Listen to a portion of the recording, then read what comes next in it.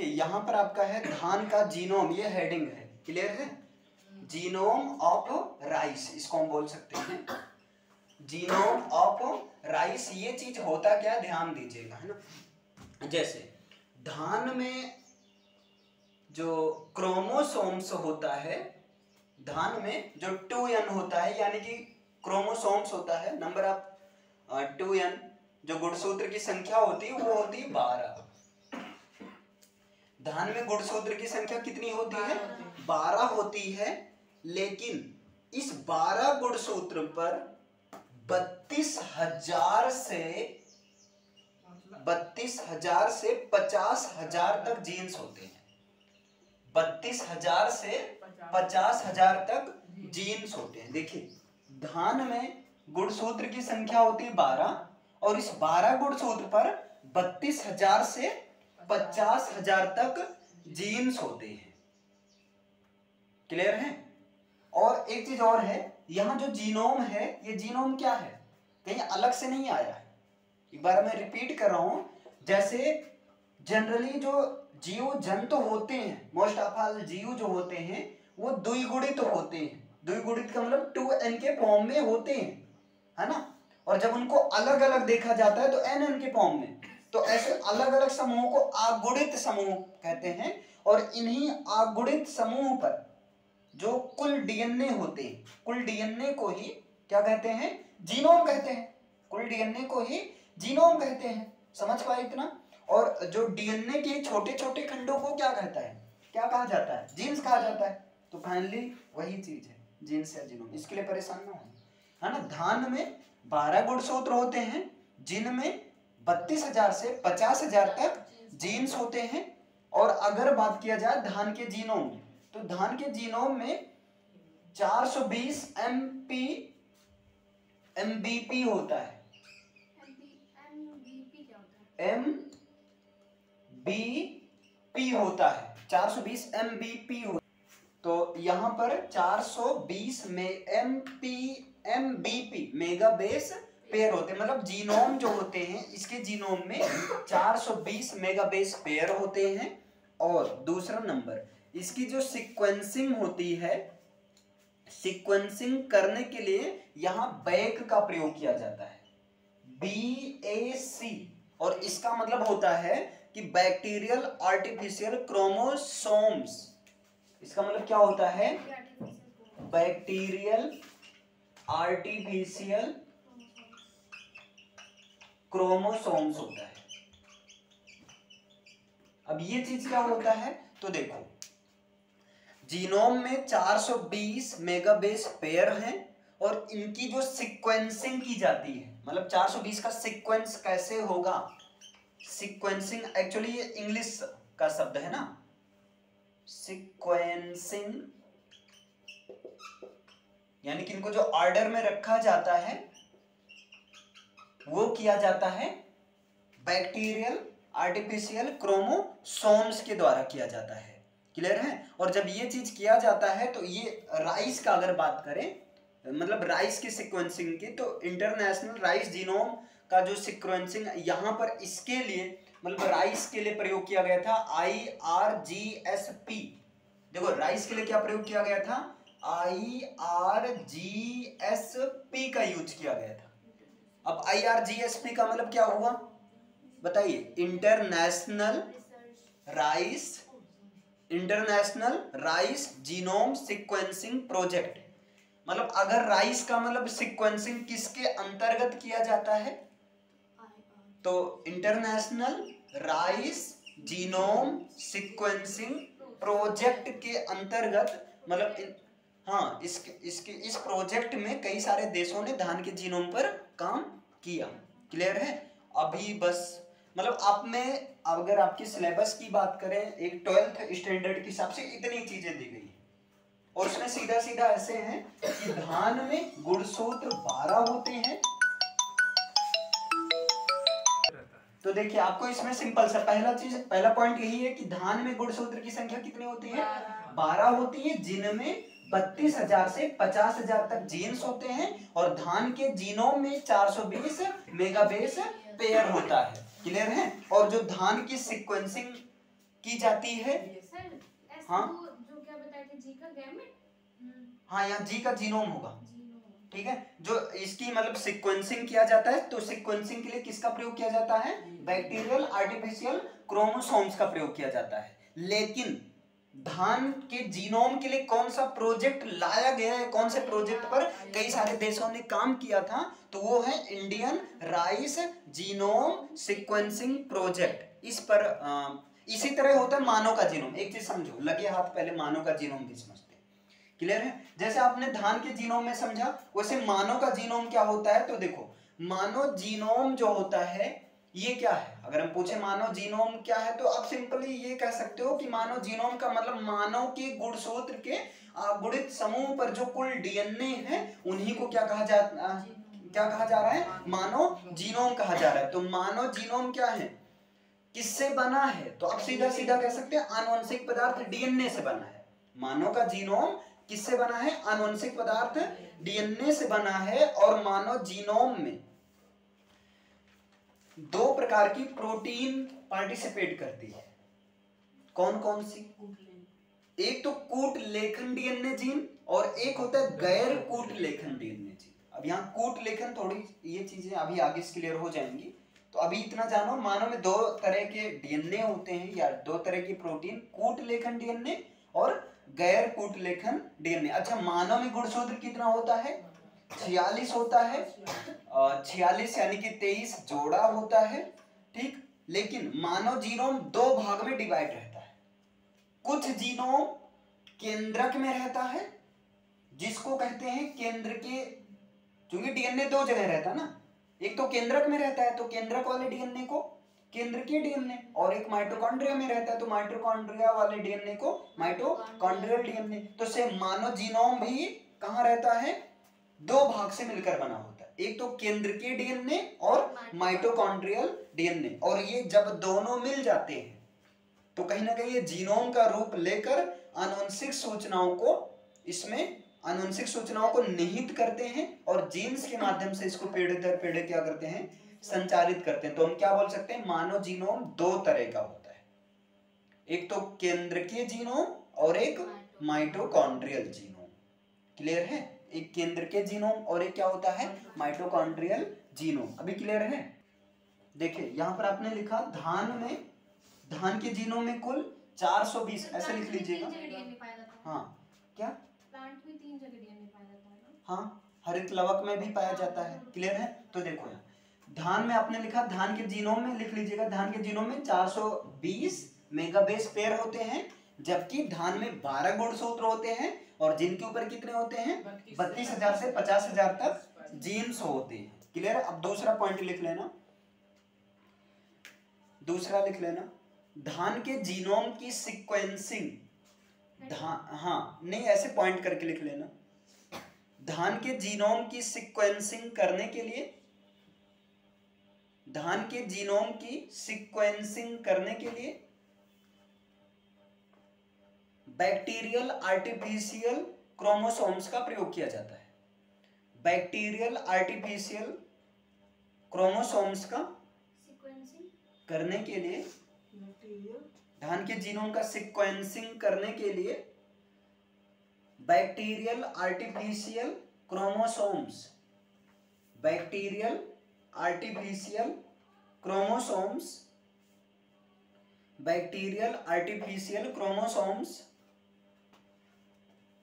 का प्रयोग किया, का प्रयोग किया गया? अब देखो, धान के जीनोम का सीक्वेंसिंग का मतलब जैसे धान के जीनोम में 420 मेगाबेस पेयर है तो इनका एक सीक्वेंस कैसे होगा?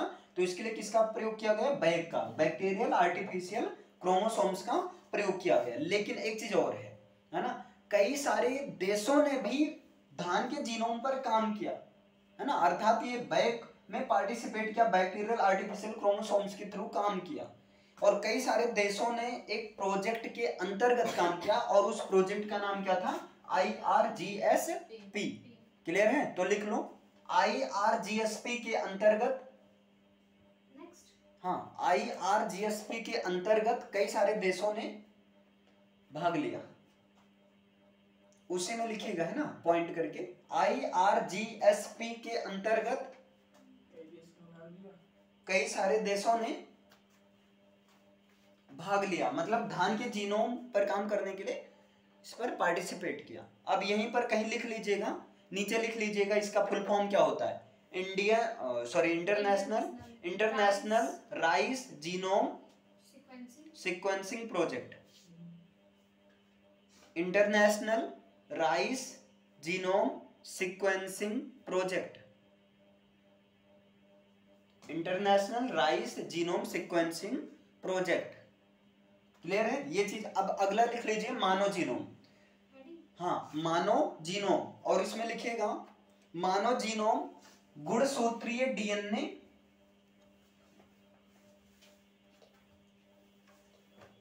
मानो जीनोम गुणसूत्रीय डीएनए और माइटोकॉन्ड्रियल डीएनए। मानो जीनोम, गुणसूत्रीय डीएनए,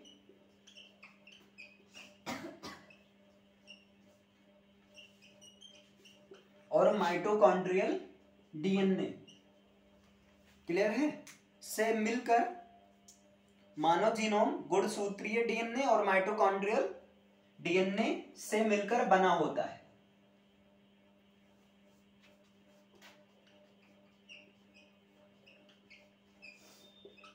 मानव जीनोम गुणसूत्रीय डीएनए और माइटोकॉन्ड्रियल डीएनए से मिलकर बना होता है, जिसमें मानव की संपूर्ण सूचनाएँ निहित रहती है।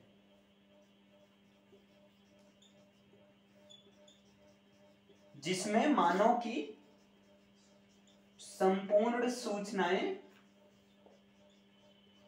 निहित रहती है।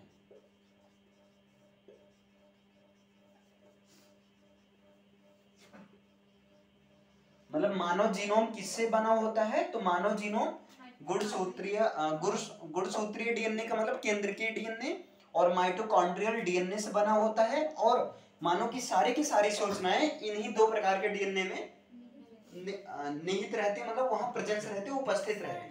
निहित मतलब हाँ निहित का मतलब रुकी रहती है। क्लियर है? स्थिर रहती हैं।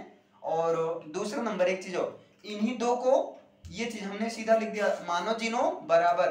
गुणसूत्रीय डीएनए प्लस माइटोकॉन्ड्रियल डीएनए, और इसी में सारी सूचनाएँ निहित हैं। इस बेस पर मानव जीनोम के कितने घटक होते हैं? दो घटक होते हैं। एक केंद्र के जीनोम और माइटोकॉन्ड्रियल जीनोम। तो आगे लिख लीजिएगा। मानव जीनोम के मुख्यतया दो घटक होते हैं। मानव जीनोम के मुख्यतया दो घटक होते हैं क्योंकि ये दो प्रकार के पदार्थ से बने होते हैं। मानव जीनोम के मुख्यतया दो घटक होते हैं मानव जीनोम के मुख्यतया दो घटक होते हैं। पहला लिख लीजिएगा केंद्र के जीनोम।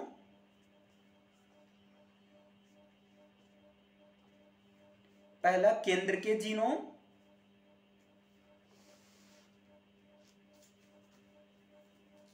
और दूसरा लिख लीजिएगा माइटोकॉन्ड्रिया जीनोम। केंद्र की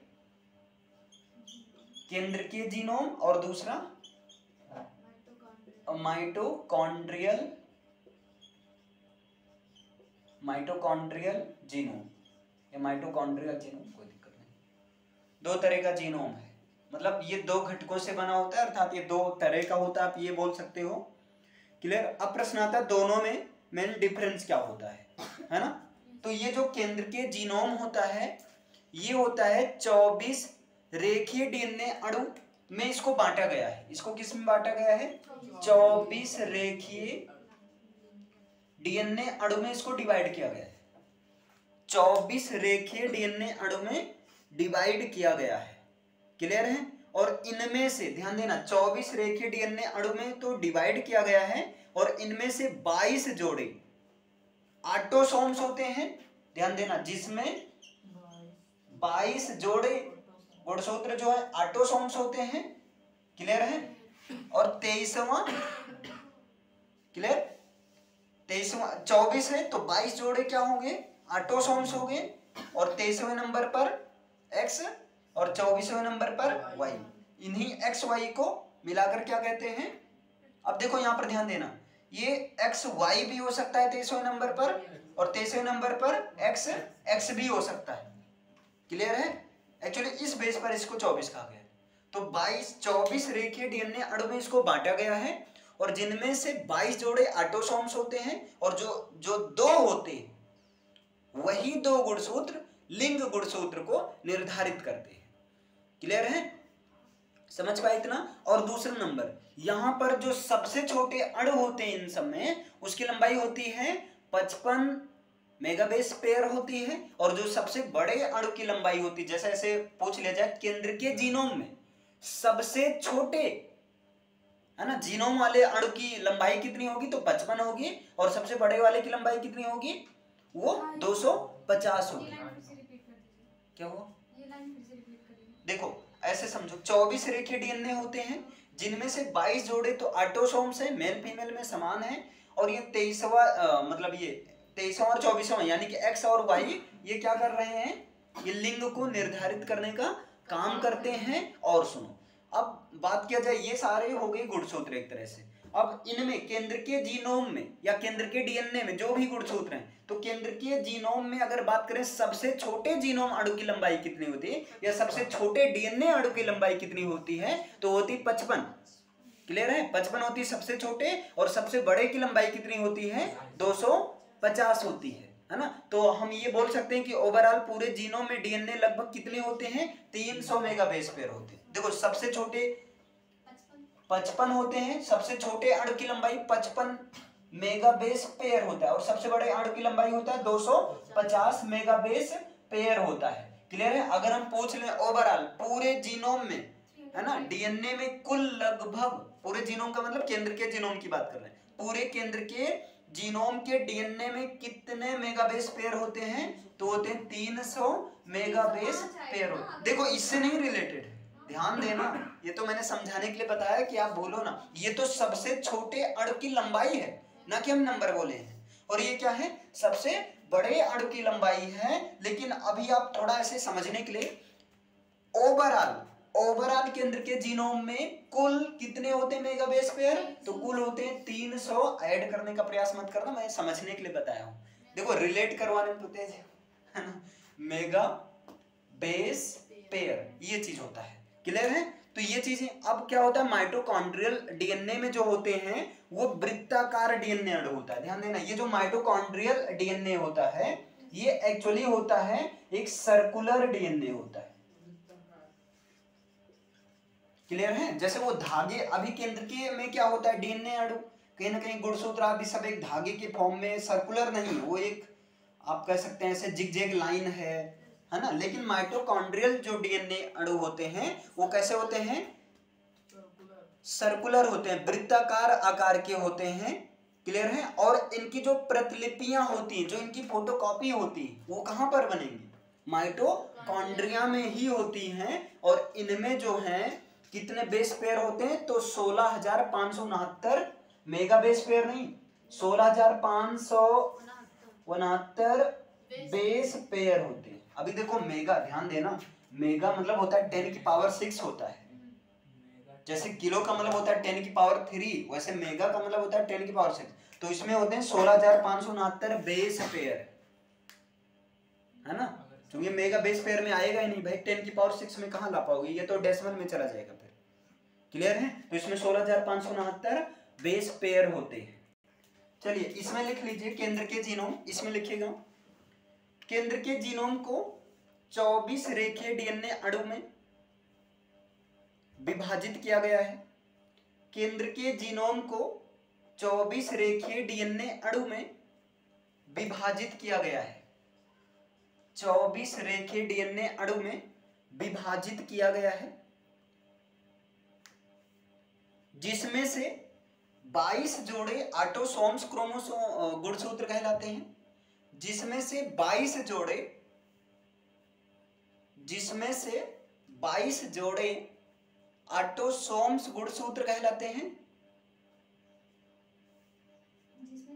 जिसमें से जिसमें 22 जोड़े ऑटोसोम्स गुणसूत्र कहलाते हैं।